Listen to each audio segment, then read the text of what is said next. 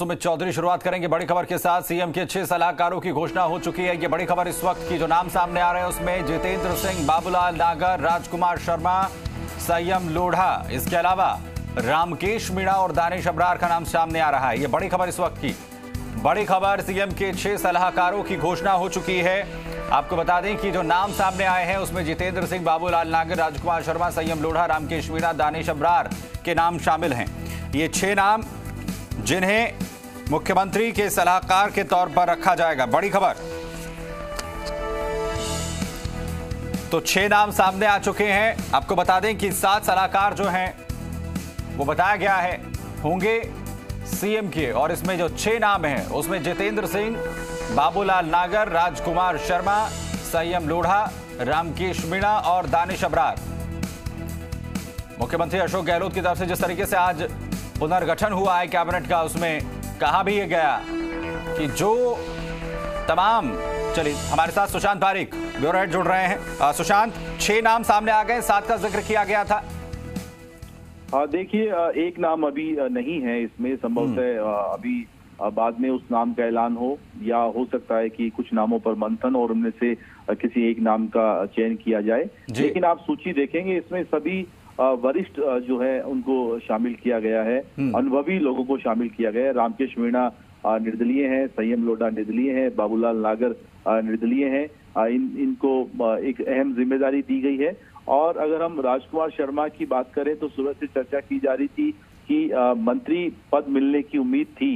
लेकिन नहीं मिल पाया तो हो सकता है अशोक गहलोत कहीं दूसरी जगह एडजस्ट करें और जब हम पीसीसी में बात कर रहे थे उन्होंने कहा कि वो निराश नहीं है हम्म। तो फाइनली एक बड़ी ज़िम्मेदारी सीएम के सलाहकार मंडल में वो शामिल हुए हैं तो एक हम्म। बड़ी ज़िम्मेदारी राजकुमार शर्मा के लिए नवलगढ़ से विधायक हैं और लगातार चुनाव जीत कर आ रहे हैं हम्म। बसपा की टिकट पे जीते हैं निर्दलीय जीते हैं कांग्रेस से भी जीते हैं तो एक कदावर चेहरा राजस्थान की राजनीति में ब्राह्मण चेहरा जितेंद्र सिंह पूर्व मंत्री हैं वरिष्ठ नेता हैं अनुभवी हैं इनके अनुभव से चाहेंगे सीएम की आने वाले दिनों में कुछ लाभ मिले हम्म। रामकेश मीणा जो है निर्दलीय हैं और रामकेश मीणा वो नेता जिन्होंने अगर आपको ध्यान हो तो अशोक अशोक गहलोत के समर्थन में पायलट कैंप पर अथी का हमला किया था खुलकर बयान दिया था दानिश अबरार सचिन पायलट के विश्वस्त माने जाते थे लेकिन सियासी संकट में वो अशोक गहलोत के साथ खड़े रहे और उसका ही इनाम जो है एक तरीके से हमें यहाँ पर दिखाई दे रहा है। अब इनमें से क्या है कि किस तरह का स्टेटस मिलेगा, ये महत्वपूर्ण है, लेकिन ज़िम्मेदारी तो निश्चित तौर पर बड़ी है और इन्हें, इनमें से किसी को राज्य मंत्री या किसी को कैबिनेट मंत्री का दर्जा भी दिया जा सकता है। इनके साथ साथ जब हम बात कर रहे थे कि सात बनेंगे तो एक नाम रह गया है और वो नाम कौन सा है?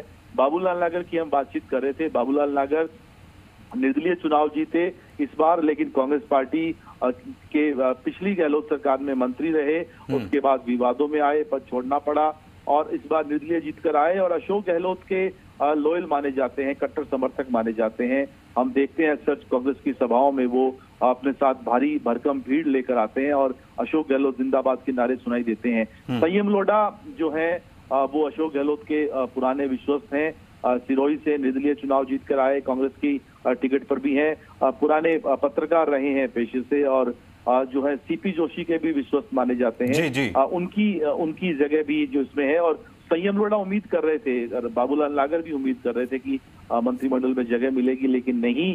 जब उनकी जगह बनी तो फाइनली अब इनको यहाँ एडजस्ट किया गया है। सलाहकार के तौर पर जो है वो एडजस्ट किया गया है और ज़िम्मेदारी यहाँ पर भी बड़ी है और दर्जा आखिर क्या कुछ मिलेगा इस पर भी कहा की नज़र रहेगी। एक नाम अभी छूटा हुआ है उस पर भी हम आपको अपडेट जो है वो लेते रहेंगे फ़िलहाल। सुशांत हमारे साथ जुड़ने के लिए आपका बहुत बहुत शुक्रिया। उधर एक और बड़ी खबर का रुख करेंगे मंत्रिमंडल